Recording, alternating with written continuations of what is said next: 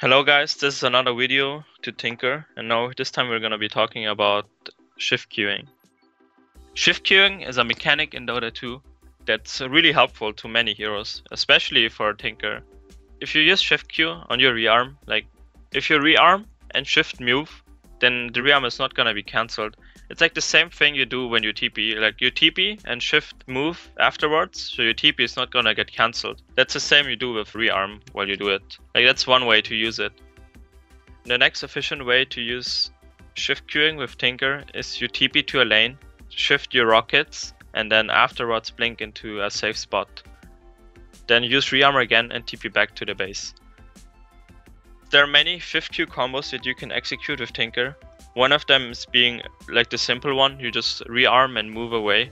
So the rearm is not gonna be cancelled or anything like that.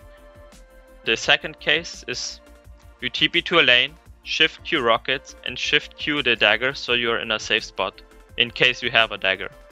The third way to do it is you hex the enemy, then you shift Q the Dagon, and then you shift Q the rocket, and then you rearm again. That's the next combo, but just for the case if you have those items, Hex and Dagon. You can also shift Q Dagon and Rockets, because it's really fast, because both spells don't really have an animation, so it's really useful.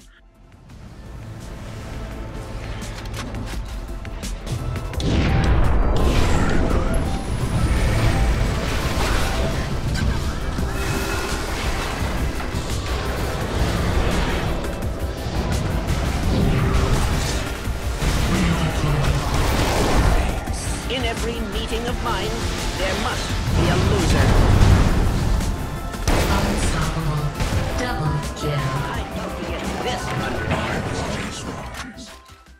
You should never shift Q the laser because it has a really long animation and then it's like not really efficient. You can try it out yourself. If you shift Q the laser, it's gonna have like one second lingering time and it's not gonna do as you would like to.